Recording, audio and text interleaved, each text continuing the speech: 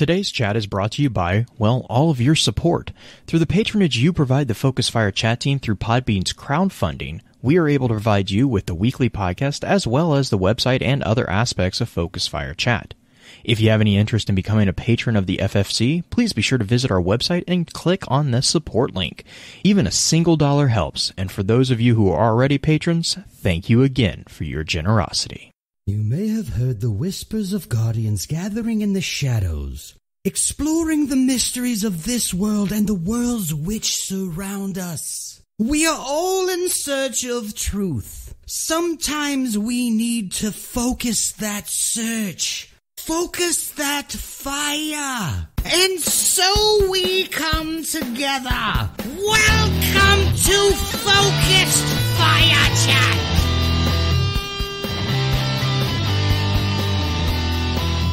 Welcome to Focus Fire Chat, recorded live on March 20th, 2020, over on twitch.tv slash Focus Fire Chat. As always, I want to give a big shout out to our live chat with us here with us tonight. Thank you so much for joining us once again. This week's episodes are going to be focused around exploring the lore book Letters from Eris. This particular episode will serve as what we have come to call the intro session of the week's exploration. Before we get any further, however, let's run through a quick introduction of who all we have with us on the show. As always, this is your host, Blue Crew 86. And this is the Get Good and Trials Green Eyed Music Lover for the week. got some got some hard light going up against you, don't you? You know, the light shows are real. The light shows are so real in Crucible right now. I feel like I'm at a rave. I just need some like I actually turned on some techno music just to like make it match what's going on on the screen because freaking A you guys with the hard lights. I get that it's good, but at least put on Suros so I don't have to see it. Just put on Suros. It's fine. Oh, and last but definitely not least, in the hot seat as guest co-host, we have our good friend Neo Mad Dog. Neo, how are you doing tonight? Oh, I'm doing great. Happy to be here. But I'm going to use my revoker to get rid of all those puns. right? so much. So you, so yeah, okay, go for it, Green, go for it. Ah, uh, so okay, Neil, we kind of chatted a little bit more online and like Twitter and Discord a bit over the over the few years. First thing I wanted to know was just kind of the general shout outs of where can we find you online or where if somebody wanted to reach out to you to ask you more questions about the lore or anything like that, what what would be the links that you would give them? Uh, you can just find me on Twitter at Neo Mad Dog. It's in the title. Um, that's I don't really post anything. I'm not like active on Twitter, but I keep notifications on. So if you send me a message, I'll definitely get it. Nice. Cool. So, the second question, as always, what is your favorite lore story in Destiny? I definitely say Emperor Calus. Um, I just like everything about that story, like from the beginning I, I want like more information about the conspirators that uh, overthrew him, and then like, and the big question is, what did he see? You, I think, are in a slight minority in that one. I want to know more about this. What, a, like, is it the the draw of what is eventually could happen with it, especially with what we got um, with the Fourth Horseman story that was just started coming out, or what drew you into him in particular? Well, I think what drew me in initially was the first Leviathan raid is reading all the lore tabs that came with the armor set and and the weapons and you realize like oh there's a lot more going on with the cabal than just warmongering turtles that want to blow up planets a right. whole culture behind it that I think is really fascinating and um and also like they have obviously have the resource to make big things and I want to see like what what did Calus make because he doesn't seem to be too much of a warmonger in comparison to some of the, like the more military ones. Yeah, for sure. Uh, from there though, like, is that the story that really got you drawn into it? Because I know I've seen you around before the Kala story became a big, big thing. Like, is there a, a particular story in Destiny that really drew you in, or? I think like I guess uh, so. To go back, like how I got into Destiny is like I think I started playing in vanilla D1. I played the beta, but I didn't buy it initially. I actually rented it for like a week, um, a month after, and I didn't really care much for the story. I'm used to the grandiose stories that Halo gave us, and like Mhm. and Vanilla D1 was admittedly lackluster. Right. And I just kind of put off Destiny from then. But around Taken King, I just said, wait a minute, there's more going on here. And I think I saw a Myelin video around that time where, where like the Books of Sorrow, and I'm like, oh, um, actually, Books of Sorrow came later, obviously. Um, but I think that was when I started getting into the lore. It's like, oh, there's a there's there's more to than just what's on the screen. Yeah, for sure. So Myelin is kind of like that entry that entry drug for you to get into it. Is there a particular story that back in D1, I guess, would be the one that drew you in? Because Uh, Calus is only D2. So was there something in D1 that really got you going or Yeah, uh, I would probably say the Reef Wars, that which came out with the House of Wolves. I like like chronicles of like battles and um, politics around it, and I thought that was really interesting. How you had these three individual wannabe Kells in the House of Wolves after their initial Kell died by the Harbingers, Mhm. and they kind of vying each other for power, getting the Awoken attack one side so they can climb up the ranks, and then ultimately Skolas came out on top and then was given to the Nine after their defeat. Right. Okay. And before we get to kind of the crazy question that I told you I would ask you, what is your primary class? Uh, I started off as a hunter, but now I main warlock, jump and all. Um, but but I play all three, but warlock's my favorite. Okay. We'll forgive you. Um Yeah, especially D2 Warlock. The jump makes more Actu- sense. it does make more sense. And I actually have less less saltiness for most warlocks, even though I kind of give warlocks just crap in general because they're easy to make fun of because they get a little verklempt sometimes. But um, no. When Just the a- when the Whisper mission came out, my friend who I always play Destiny with basically ordered me not to play on a hunt, not to play on a warlock, so I could actually do the jumping puzzles, even though Yeah. I'm pretty good with warlock jump. I mean, it's easy now, luckily. I mean, the Whisper mission, because of the light level being such a huge discrepancy, you can do Whisper solo basically now. Light levels. it. Oh, I so saw an esoteric video about it. That was really funny. I told my friend about it, and he soloed it. right yeah, after. it's not too bad. Basically, Blue, if you wanted to go get Whisper, now is the time to how, do it. I love want- how this suddenly turned into basically blue. if you want to go get that. You can get Outbreak too, Blue. yeah, Yeah, I've heard, I can- heard about that one. I think the Outbreak uh, jumping puzzle is a little bit more difficult than the Whisper one, though. Yeah, because the But- yeah, I've I've I've been told the same. Yeah. the outbreak jumping puzzle is a bit of a bit of a fun one. That's okay though. As long as you're not I mean the basic one isn't too bad, but it's the getting the catalyst that's always a little bit more tricky. Mm-hmm. But Neo, I was going to ask you about your opinion of this season's gear because you were talked to me about how you are a bit more of a fashionista of a warlock and how you are really into like getting your gear sets to look exactly how you want. How do you feel about this season's gear with the streetwear? Oh, The I love the the, pimp lock? stuff. I love the pimp. I'm like, uh, I'm, there's a Discord channel uh, Mhm. from the subreddit Warlocks Rise Up, which is only Warlock mains, and the sub icon now is the pimp coat. That's awesome. I love it. And the and the Titan set got a bad rap because the picture initially, Oh, but if you put shaders on it, it's actually pretty good. It's actually yeah. I haven't seen too many warlock or too many titans look. I just think the colors that they chose for the picture is what made that one It so just, it just awkward. it- all I can see with that one is Cole's uh, dragons. Oh, I know the the derpy dragons that eat sand. Oh, Not that bad. It really isn't. Like those sets actually mix really well with other currently owned Yes. gear, which is nice. which I think was kind of the I- point too, right? Was this like the street aesthetic was going to kind of be a good mix match with everything. I, I guess so. Like I'm wearing the street gear. The only thing I think that I'm wearing that is not street gear is the helmet because the helmet and the street gear is shiny, so Mhm. it shows up on Crucible maps a little bit too easily. and the arms because I want to have my oath keepers on. So, yeah, yeah. but as as far as like the pants and the jacket and the and the cloak, oh, it's so pretty.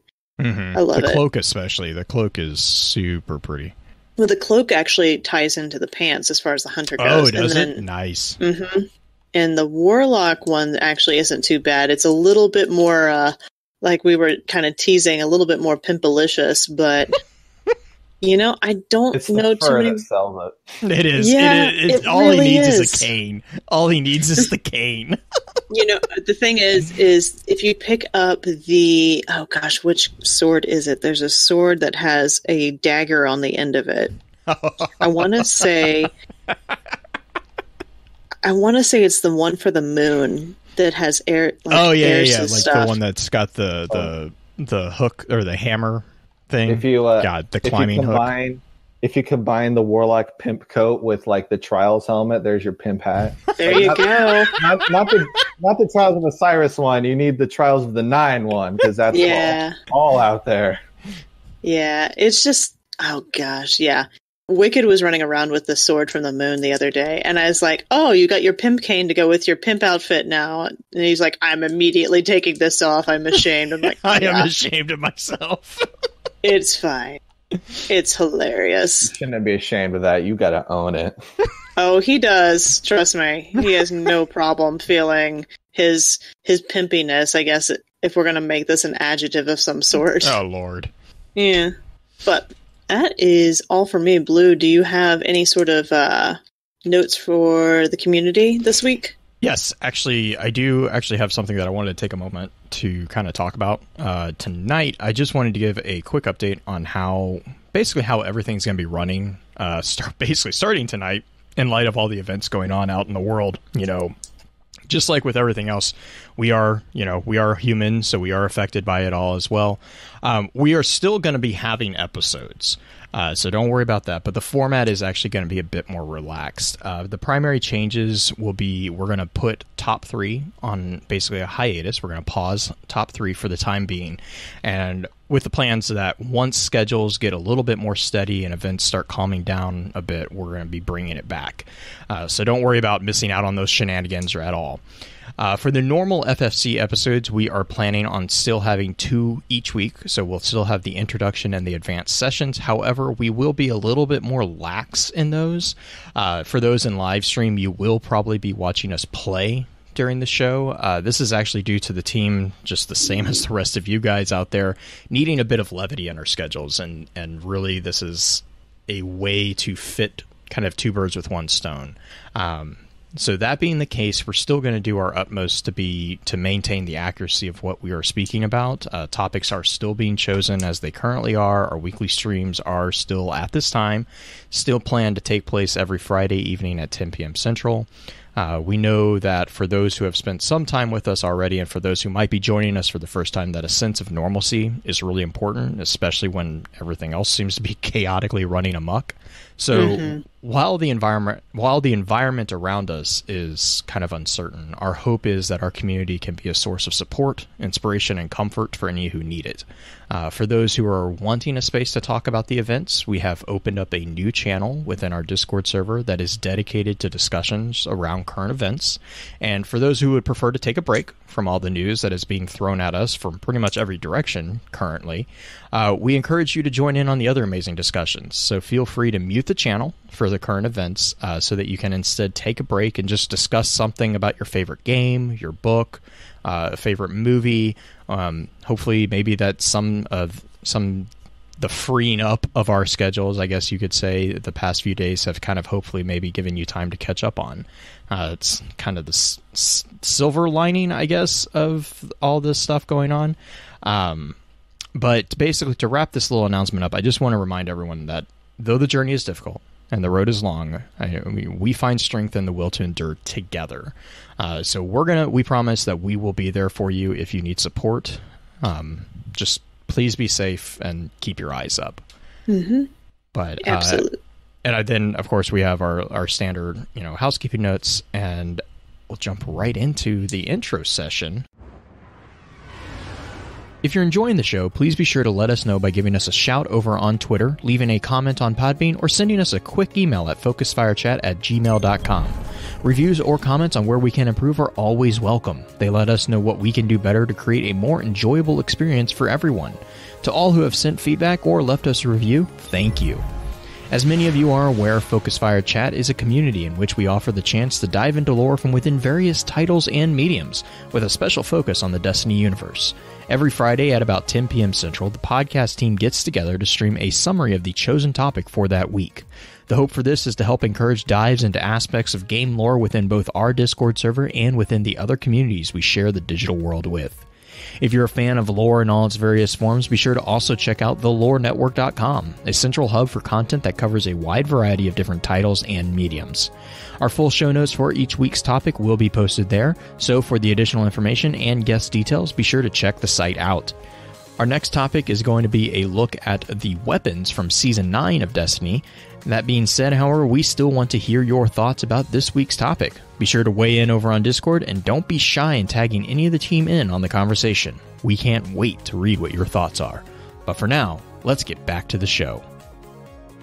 Green, do you have a a good uh, man cocktail knowledge for us So- this week? Well, the weird thing, and we talked about this a little bit of chat in chat between you, Neo, and I on how this this book in particular is more of a collection of letters to the Queen or Ikora rather than like a bunch of huge revelations. And so the cocktail cocktail knowledge for this book in particular is fairly light in comparison to things like Revelation or uh, Kraken Mare, but this one in particular is a it's an interesting perspective of seeing Eris go through the accumulation of the nightmares as we're going through the weeks of Shadowkeep, as well as kind of seeing her progression of empathizing with some of these various nightmares and Mm-hmm. kind of sort of getting pushed into a psychological state where she's she's not necessarily in the best of places by the end of it. I mean, we'll find that out as we get go through them. But she s- sends these letters both to the queen and to Ikora, though some of the letters are s- explicitly for the queen and some of them are explicitly for Ikora. Um, I believe Ikora only has two or three different letters. The rest of them are to the queen. Yeah, Ikora And- has. Well, Ikora shares the last one, and then she has two others, so she technically has Mhm. three. Yeah. Um, I want to interrupt you real quick uh, because you brought up something that actually has been. I, I wouldn't say it's been bugging me, um, Mhm.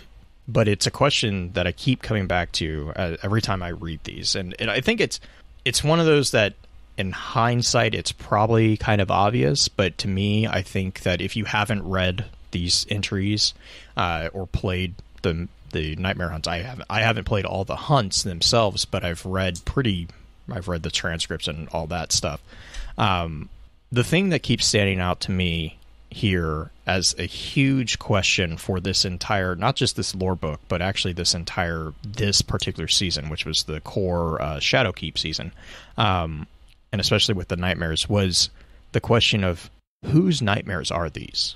Because Well- I, well, because and and this is gonna probably be my one thing that I do keep coming back to, not just in the intro, but in the advanced session too, because the more and more I sit on it, you know, I really don't think these are our nightmares.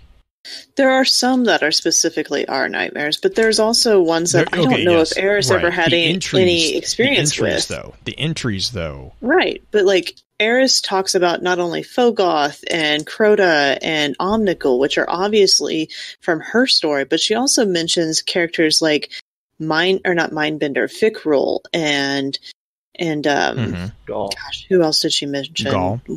Ghaul, and some of the other ones that are she, specific. I mean, she would have knowledge of these, and the thing, and the reason, and I, and we'll get, we'll probably get into this a lot with, especially when we start talking about like the psychology of it.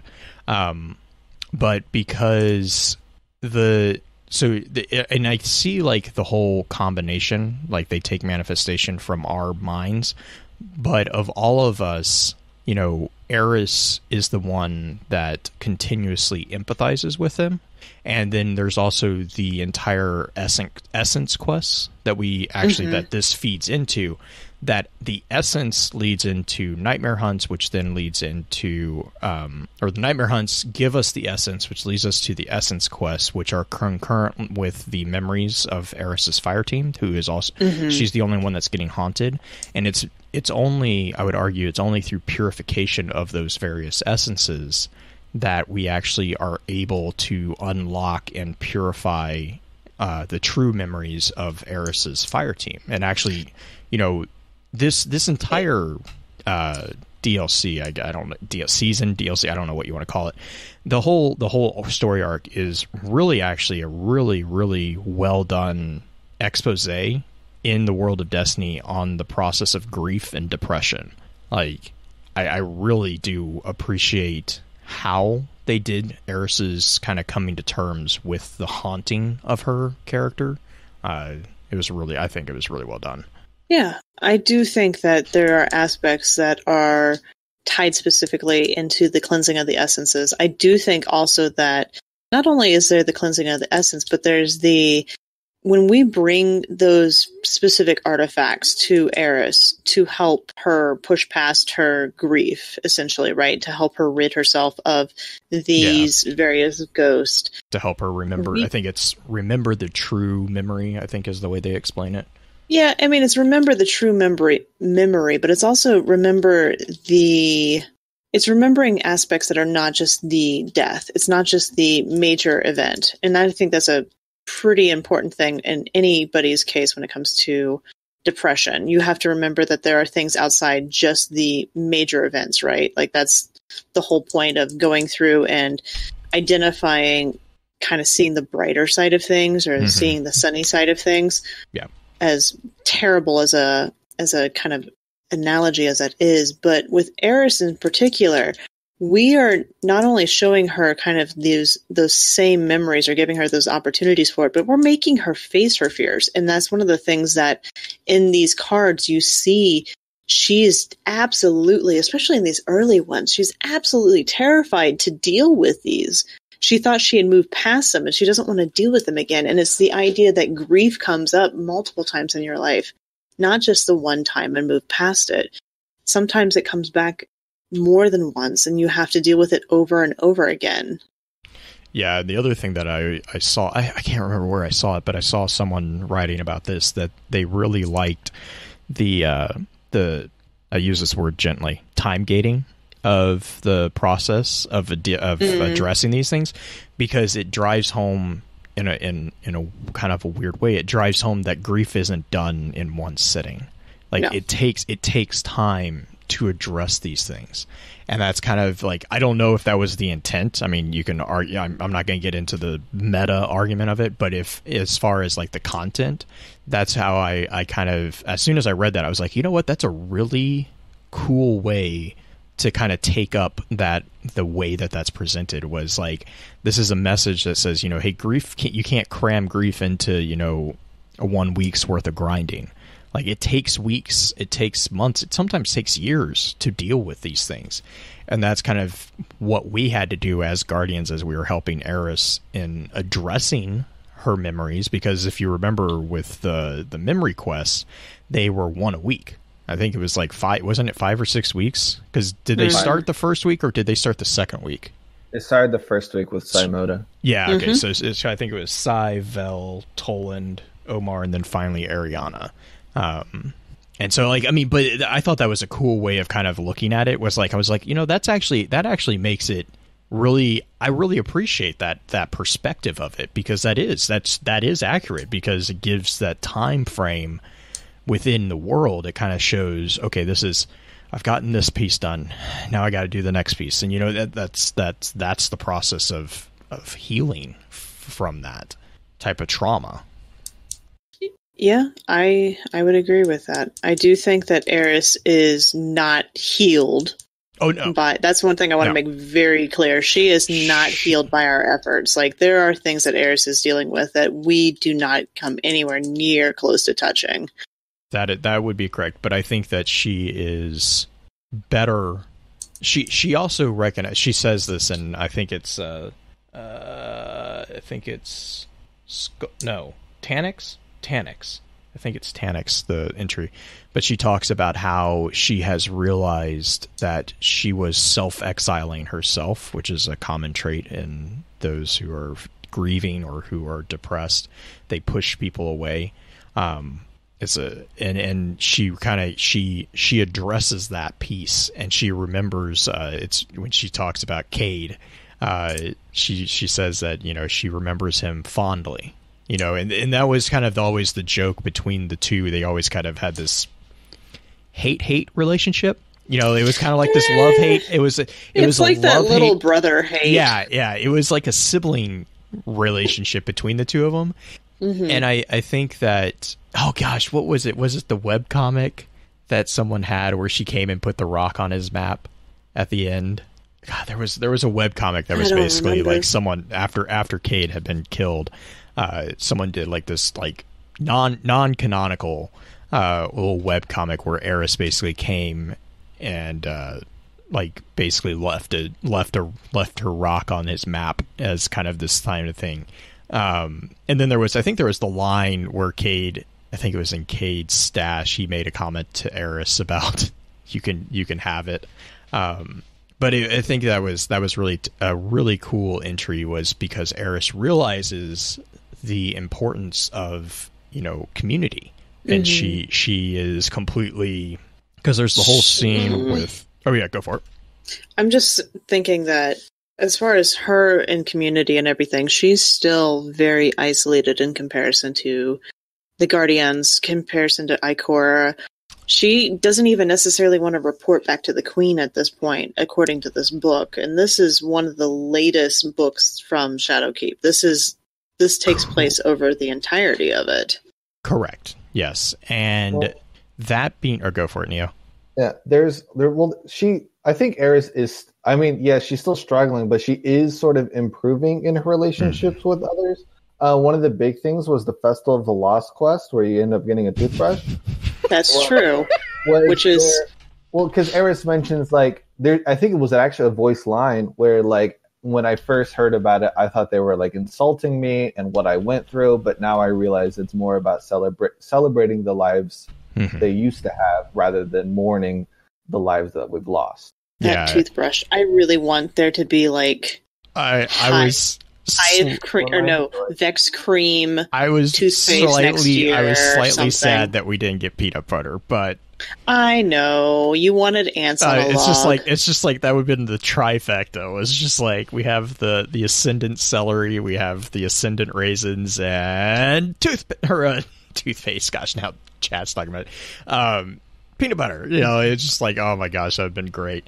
But the thing I want to um, know is is peanut butter a universal truth or ants on a log a universal truth? Because if it's not a universal yes. truth that every country loves yes. ants on a log, no, you don't know that. Have you been to every country? Have you have you asked Byf this? Have you asked Myelin this? Oh well, is I'm gonna I'm gonna message him. Hang on. Yeah, you should message him and figure out is this a universal truth? Ants on a log. Is that a delicious snack gonna for be like, Why young children? Are you messaging me? Also, they're kind of probably going to be like, "What the f- is ants on a log? Like, what are you on about?" Byf's awake right now, right? If he's not, he's about uh, to get a uh. really weird message. yeah, we'll find out. We'll find out here in a second. I'm, I'm messaging Myelin right now. oh Lord, but I don't know. I don't know. as far you know as yeah, sounds good. So, as far as the book themselves, or the book, the entries themselves, do we want to kind of do a quick rundown? Because there's not, there's information in here mostly as a, I think I treat this more of an expose of Eris's continual state during Shadowkeep. I don't know if there's a ton of new information in here that reveals anything about timelines or anything like that, but we at least get kind of her descent into Eris madness, I guess mm-hmm. is what I would call it. I would say like the first one really kind of because the first one's to Mara and it's really kind of her laying out her plans in insofar as Eris ever lays out plans, you know. She doesn't really make it clear. But she she kind of is like, this is you know we must do what we must do to you know find this. Um, and as far because this was this was the one no not this one not this entry wasn't the oh, which one was it was it regarding the pyramid that came out right after the cut the creepy cutscene Yes. because I know that I know that one refers to it, but I can't remember if it came out like immediately following it or if it was like. But anyways, the the the only time frame that we do have was the correlation with that cutscene during Shadowkeep, which is when she you know walks up to the statue and has the creepy "I know what I'm doing" smile, um, which everyone everyone loved it. I didn't I didn't think anyone freaked out about that at all. I think everyone What the creepy cutscene? what are you talking about? Everyone was super calm. No one overreacted about it. There weren't theories thrown about. Remember when Myelin posted a video of Eris was evil? I mean, God. If ever Morla has played a, a character that wasn't slightly evil, I don't like. I could see her playing Eris as evil. I just, I just see it. Morla could play evil so easily. Not to say that the writers would make her evil specifically because Morla could play evil, but Yeah, the she could writers pull it make off. make her. Oh God, yeah. Yes, she could. I've tried to emulate her voice patterns for Eris. You remember this? oh my god, it's dang near impossible. The woman has such a weird, like she does it in such a way that the voice drips into a lower timbre, not only just like an actual throughout, but she doesn't end the sentences the same way as normal normal speakers do, and it's frustrating. And I'm cursing, and I'm sorry. I may have had whiskey. That's okay. But anyway, uh, so okay, we have how many entries in this book? There are a lot of entries in this book. 14? 14. Yeah. Okay. I have like just the quickest rundown of like the not only cliff notes of it, but things that I think are slightly important for each of the cards. Let's do it. Uh, regarding the Great Disaster, mm, this is a report to the Queen where Eris reveals information about the pyramid, opening a box in my mind long thought locked. She remembers the Battle of the Moon and Crota fire team attempt. So the idea of Eris has locked away these thoughts for years and years and years, but it has been reopened, reopened thanks to this pyramid. In regarding nightmares, it is a report to Ikora about the nature of the nightmares. She postulates that the pyramid is trying to distract. I cannot shake the feeling that we are being toyed with, that these nightmares are a hindrance to our goal. We must not lose sight of what they are guarding. Perhaps they wish to make us question ourselves and our will to fight, to overcome. So here, second card, still pretty, uh, pretty re- resolute in what's going on. Everything sounds good. Everything sounds like it should be. Regarding Eris's fire team, a report to the Queen. Vell Tarlowe has joined Sai Mota in Eris's torment. Beyond that, there is a terrible pain has resurfaced from a scar that I assumed had healed. Now something is scratching and clawing its way out. That, I feel, is the beginning of the cracking of the um facade that Eris puts on. You really start to see things come apart in this card in particular. I and I'm sure in the advanced episode we're going to have more on that in particular because that one screams um, psychological, um, possible. Mhm. Well, not yeah, warfare, but also the idea of um, reminding somebody of something in particular. Like Yeah. you know, scent memory is such a strong thing, but there's also um, triggers for painful memories can trigger not only the painful memory itself, but pain in that limb. You have um, what is it called, the ghost limb effect, for those who have gone through um, amputees, amputations. All right. Uh, phantom limb. My wife from the other room provided the phantom limb. Thanks, Julie. Thanks, Julie. uh, regarding Omnigul and Will of Crota, it's a report to the Queen. Eris relays that Omnigul is now part of the Nightmare on the Moon. She reflects that I am aware that these nightmares are not truly what they represent, but the mind can be fooled, even momentarily. In those moments lies are lies all the destructive power of the darkness hopes to exploit. I fight back, but the nightmares grow stronger. So Eris is basically starting to postulate is this how the darkness is going to fight? In this one, regarding the hidden swarm, next card, a letter to the queen. The hidden swarm is di- disorganized and Eris is fearful for the force they could muster if one would rise up to lead them. For all the hive's efforts, they fortunately do not seem to have succeeded in penetrating the py- pyramid's walls. I think this one in particular goes with what we were talking about. Well, what we were going to talk about last week with the um oh, is it interrogation of the Uh, damned? yeah, Inquisition. Inquisition. Inquisition. That's what it is. That one would. That one is kind of in tandem with that one Yeah, the spread of. been the the release of the additional apocrypha to it. yeah. Yes. Uh, regarding the spread of nightmares, it's a letter to Ikora about how the nightmares are becoming more prevalent. The thing I've noticed between Eris, Eris's letters to the Queen versus Eris's letters to Ikora, the Queen's letters are more detailed and seem to be more personalized Mhm. versus the letters to Ikora, which are more of a professional, I am reporting in because I am in hidden and this is what you want me to do kind of thing.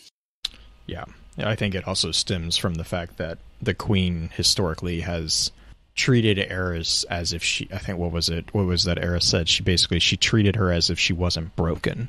hmm Uh, I believe the quote was that uh, the queen sees me as a hunter, not a liability. Right, right. Yeah, so Yeah. there's there's that That was that that was the lore test for Unfinal Shapes. right. Mhm. That was her ship in season four.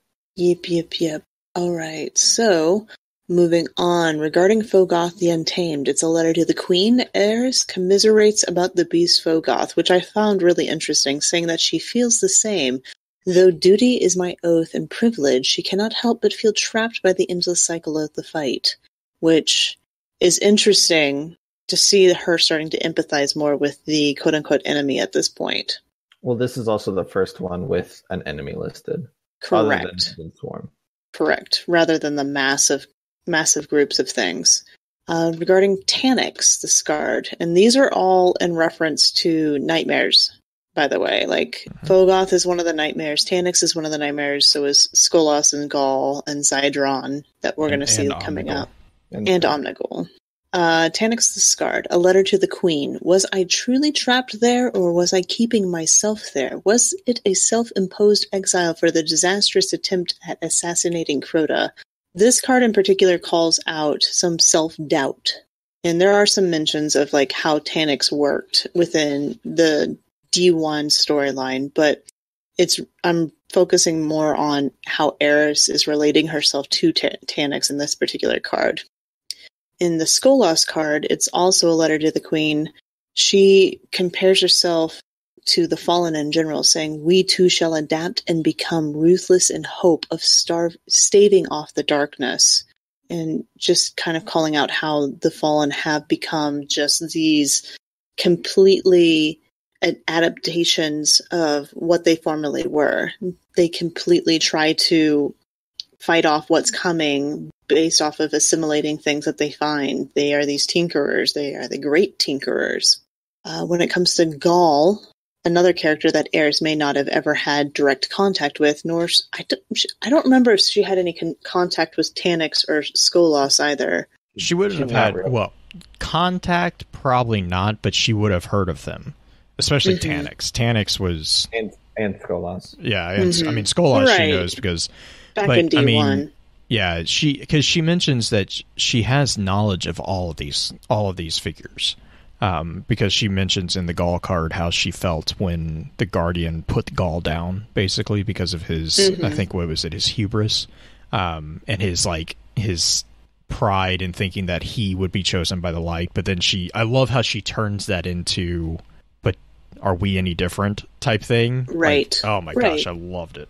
Self reflection. hmm Uh, the regarding Ghaul entry is another letter to the Queen. She often wonders whether I was chosen or whether I made a choice in my journey throughout this life.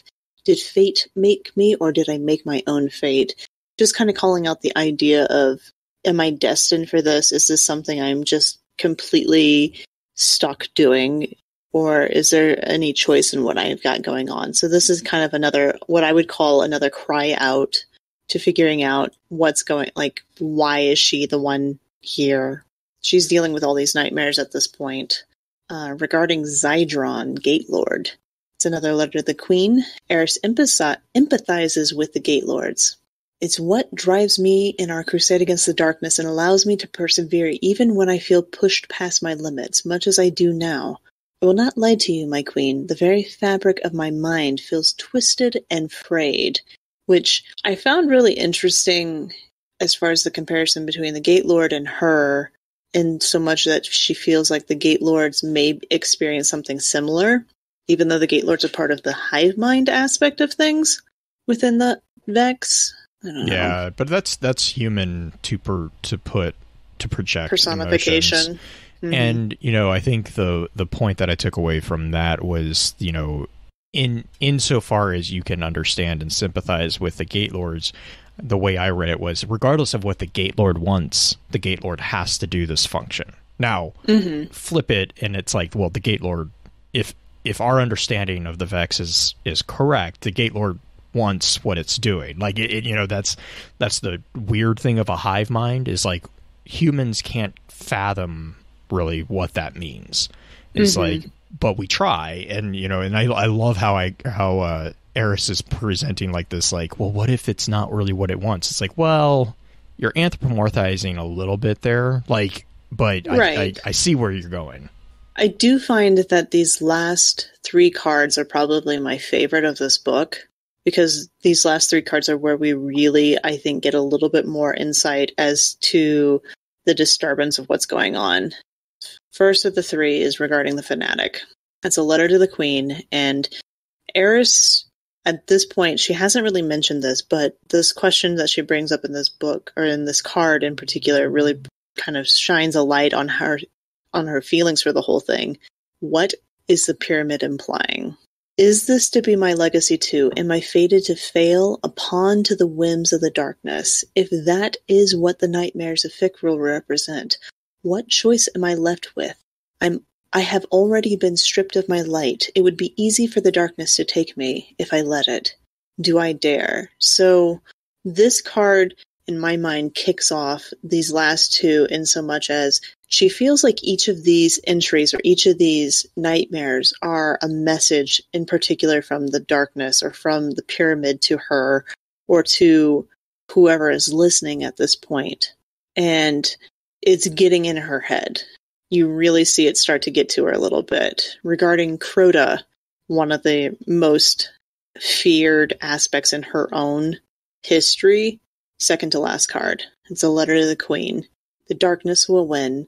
I can sense it already. I swore I would go on. I can no longer swear this. Always failing. Relieve me. That card in particular is the last card that actually makes it to the Queen Well, in this book. No, That- the no. regarding the pyramid has one that makes it. Yeah, it has a portion of it, but not the first part. right. the first she, part doesn't actually a- is undelivered. correct. She she basically started a note and then delete, delete, delete, and rewrote it and then sent that. Mhm. But but but she did send something to Mara. She sent something to Mara and Ikora in the last one. Right. And she's the opening of that one in regarding the pyramid. It's, I think, more revealing than the second half, Mm-hmm. or the second two thirds, I should say. The undelivered aspect says, I am at a loss. Never before have I felt so hopeless, so adrift, so tempted. Forgive me for my words, but I understood the allure of the darkness. It is quite powerful sensation to feel so free of care. My fractured mind thrills at the prospect of recklessly abandoning hope. I cannot say I didn't want it to take me. I was weak. I see this now. And later in the card, she has the explanation to Mara about how we've been manipulated, where we've been where the darkness wants it. It's orchestrated its planned magnificently. And then the letter to Ikora is a little less clear, I think, in some respects. Um, she does give Ikora a little bit of, I would say, props, I guess, in so much as you have remained steadfast and supportive of me where others lacked faith, which is kind of a nice little tidbit, even though Eris also doesn't feel as caring for Ikora pretty obviously throughout this entire book as she does for Mara. But she has a more, I think, hopeful letter to Ikora than she does to Mara at the end of this. Mhm. What do you guys think? Neo, do you want to jump in? I don't. I I read it in that in the way that um Eris doesn't want Ikora to know how she's feeling. Oh yeah, absolutely. She just want. She's like, thank you for the support. Means a lot, but it's it's a hollow saying. It's hmm it's like saying I'm fine. Oh yeah, it absolutely is. But there's she does also say that in that respect, this is how we will win. Despair not. Our purpose is good and true. I will not be weighted down by the dark, uh, in the dark by my past, my mistakes, or my trauma. Instead, I will use them, and they will lift me onto the light. Even though in her mention to Mara, she obviously feels like there is less hopefulness there. She knows that it is very easily to trip to trip up and follow the dark. But I don't know. What do you guys think? There are some interesting aspects throughout this book that are mostly just kind of like not necessarily tidbits, but insights into Eris's psyche for the time. Blue. I think um, the ending with Ikora, there was another another writer, and I'll try to I'll try to find this guy because he did a really good job of talking about this kind of this aspect between her and Ikora, insofar as if you if you look at the relationship between Ikora and Eris, um, you really see that Ikora is uh, really kind of like a, a surface acquaintance friend to Eris, and she really is kind of the only one that Eris has within the Vanguard. Um, Oh, within absolutely. Guardian rank, especially. Um, but Ikora is is like that. Uh, Ikora is like that stereotypical person who is dealing with someone who is grieving or is who is in a, the middle of a depression or a depressed state. Um, who who is out of their depth? They don't have any idea how to deal with it, and so Ikora. No, no, no. Ikora is the friend who is dealing with Eris, who is in grief. And Ikora's response to like, and, and this guy, this guy does a really good job of kind of presenting this the whole thing from Ikora's perspective. But like, what uh, what Ikora does when Eris is going through all this is she basically is like, she, Eris does the very stereotypical "leave me alone," like just leave me alone. And Ikora, Right. you know, for those who have experienced a either a depressed state or a state of grief, um, that's a very natural uh, thing to do when you're in that state. You push people away. Um, m- most people, and that's kind of you know Neo. I like what you said there. Is like he she doesn't want Ikora to know how she's actually feeling. She's just saying, "Yeah, I'm fine. I'm fine." And Ikora is one of those characters who's like she. it- You can tell, like especially within the cutscenes, that like she knows she's not fine, but she doesn't know what to do. And it was interesting to me because this guy pointed out a really, really interesting thing that I actually missed was when Eris and Ikora first have this conversation before the ghosts start haunting her. It was, I think, it were only Sai and maybe Vell was with her that was just hanging around. Um, Ikora kind of is like, "Are you okay?" And Eris is like, "Yeah, we have work to do." And she's talking to our guardian. Yeah. And Ikora's response is basically to send frames to guard an area that Eris has already secured. So she's basically putting robots with guns in it to protect air quote protect Eris. But the guy the guy that wrote this and gosh I'm, I I feel so bad I need to find this article. But the guy who wrote it basically was pointing out so Ikora sent guns to deal with psychological and actual supernatural hauntings. Like what's a gun going to do to a ghost? Like it's not and and it was just it was this does- it was this way of kind of portraying Ikora as that as a character or that person, a friend who who does care but just has no idea how to connect with Oh them. yeah, but I think that's accurate for any of the Vanguard in general. I don't think any of the Vanguard know how to deal with anything psychological at this point. I think they're still reeling from the loss of Cayde. Yes, I would agree. But I mean, I mean, within regards to Eris's grieving and Ikora, I think that is the that's the projection or the the presentation, I guess, that I really actually, as soon as I read that, I was like, you know what? Like all these little pieces that have kind of been floating there seemed to kind of connect finally, and that was that made a lot of sense to me because I was like, yeah, that's exactly what what I kind of feel, and I couldn't put into words. Um, was that Ikora wants to help, but she just has no clue how to how to, and so she's Right. like, okay, um, here's some backup, and it, and Eris is you know Eris is basically being polite and being like, okay, whatever, yeah, you know, thank you. She doesn't need the frames. Like the things that are hunting Eris and haunting Eris are not physical. They're they're psychological. They are they are haunting, literally haunting her. Um, Well, in that go same it, go for it. cutscene, in that same cutscene you were talking about, doesn't also like when after Eris is like, "Come on, we have work to do" to our guardian, and then I Ikora turns to us. yeah, and she and just, tasks. like, Yeah, she her. yeah Like, she her, us with uh with helping her. Right. Yeah. It it to me it was like I was reading that and I was like, you know, that is a really and and, and the guy's ultimate the the ultimate point of the article was like, you know, for a first person shooter, this is kind of an interesting twist because you don't normally see something like this in a in a you know run and gun game. Um, Right. where things are like you fix it by shooting it like with i with eris you fix it by actually purifying these various essences and you you you know we kind of were talking about the memory quest at the beginning of the episode where you kind of bring um like i think what is it with uh with sai you bring her the necklace uh, with Vell, uh, Vell, you bring her the Mm-hmm. It's the It's the mark. It's a mark.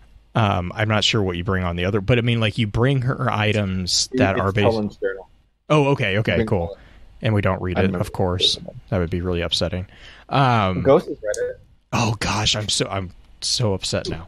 Um, but but they're touch points. They're they're touch points of like the highlights of a person's life, which is which is how you deal how you process grief. Is you you you don't necessarily forget it, which is what Eris has been trying to do when she talks about the bo- the box that she, you know, she buried. You know, it, she what was it? Reopened a box in my mind, long thought locked.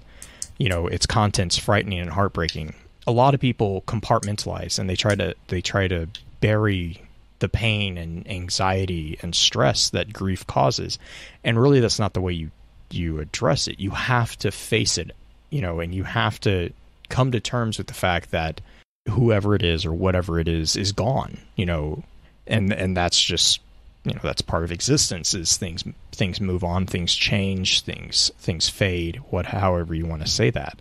Um, and so that's what that's really kind of where i find personally i find a lot of enjoyment in talking about like the shadowkeep campaign is because it's so much fo- i mean one of the most beautiful entries is eris oh god it's the it's the jump ship from eris where she's talking about grief and she's talking about like you know it's it's hell, but we have to keep going. It's just I don't know. I really I really appreciate the lore entries and the lore items that were released within the Shadowkeep because because of the psychological points to it. You know, the entire thing with the nightmares um, can also be viewed as as a dream analysis. You know, like the whole thing with uh, the entire armor set that gives us bonus damage and bonus protection against nightmares is called the Dream Bane armor.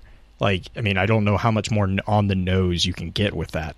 Uh, because the more items from the Dream Bane armor set that you wear, the more protection you have against nightmares. You know, it's it's it's just right It's there. a dream catcher in some ways. Right, right. And then like, you know, the various aspects of the weapons are actually taken from components that we take from those dreams and purify. And and you know, if you start looking at like all the essences that you have, I think there's like 14 essences.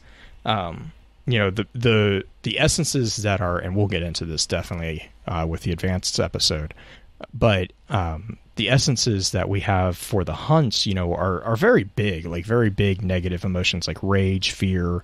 What is it? Rage, fear, isolation, pride, servitude, insanity, anguish, and despair.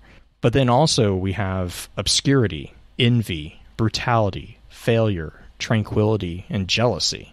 And all of these Tranquility is always the weird one to me. right and and i do have i do kind of have a thought on that one because if you're because if you take it to an extreme right? If you take pride, pride. Sloth. Well, it's not even that. Like tranquility. So the the the opposite of tranquility is like concern or anxiety, right? It's Mhm. two it's two extremes. You don't want to be complacent, but you don't want to be like you know panic attacks. Um, if you're if you're extremely tranquil, you're doing nothing. So yes, in a way, it would be sloth like. Um, it'd be I wouldn't say it's laziness. I, I sloth would be you know the the thing. Um, you're you're detached. You you you don't have a care because you're just you know it's just whatever. Whereas if you're not tranquil, if you have concern, that's kind of where I kind of was taking that particular one. I, I will admit that tranquility is the one that it kind of throws a wrench in all of it because I'm like, really, that's the that's the word choice we're going to go with on on negative essences. Um, everything else is pretty obvious, right? You know, like pride is hubris, but you and when you purify it, you know, when you take that essence and you take it through purification, you know, the opposite of pride is uh, humility or modesty.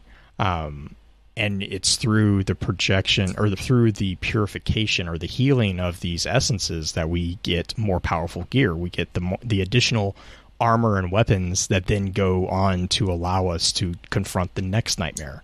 And it, it's just like this huge kind of again, it's just to me, it's so much on the nose of a dream analysis and of a healing of these these negative fears and emotions within Eris. And that's why I kind of asked the question, you know, whose whose nightmares are we actually dealing with here?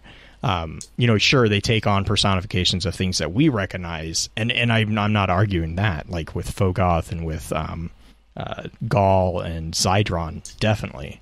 Fanatic or Right, right. But I mean, when you when you read the entries, and I really encourage people if you haven't already read them, go back and read them because in every single one that mentions a spe- actually in every single one, Eris calls out her empathizing with that particular emotion. Um, you know, with Taniks, she talks about isolation. With Ghaul, she talks about wrath and rage and pride. Um, Skolas, she talks about the pride and the hubris. And, you know, and every time she brings it back into that, what you kind of were mentioning, Green, that self analysis, but not just self analysis, she's actually talking about guardians in general, too. hmm And it's, it's a really cool dive into what I, what I really like about this whole story is like, what happens? What happens if we take it too far? Will we become the fallen? Is that our future? You know, what happens if, you know, what who who chose us to come back? Was it us or was it destined? You know, these these questions that are very Osirian, if you will. Um, These questions that are very much the exact Uh, same quite- questions yeah, I put at much. the frickin' panel at Guardian Con last year. hmm hmm A dive into our own nightmares. Right. Right. Well, and I mean, it's it's. I would say it's it's a existential crisis on a general level, Mhm. and you know, and kind of like I got I got looking at the nightmare hunts, you know, and the the major nightmare hunts, especially. Um, it's like a it's like a it, there's eight of them, and it's kind of it made me think of like the Buddhist, the eight step or the eight. What is it? The the path of Eightfold eight- Path. eightfold path right uh, it's not a it's not a one-to-one connection because the eightfold path is much more about the separation of self from your awareness and all that. But it's also you know it's about this this form of transcendence and it's a form of purification of these negative thoughts really because you're going through and as you're you're going through each of these things you're combating and recovering the essences of these negative thoughts to take back to the lectern of enchantment to purify. And that's where you get really kind of this kind of really cool looking um, I don't want to say it's an analogy, but like this really cool like psychological model of taking these negative emotions, overcoming the challenge, you know, the the hunt, hunting down these essences, finding the the heart of them, and bringing them back, and then purifying them, and and from that process you come you become stronger. I thought that was mm-hmm. really a cool thing, but I will completely keep talking about this, so I'm gonna just stop talking at this point.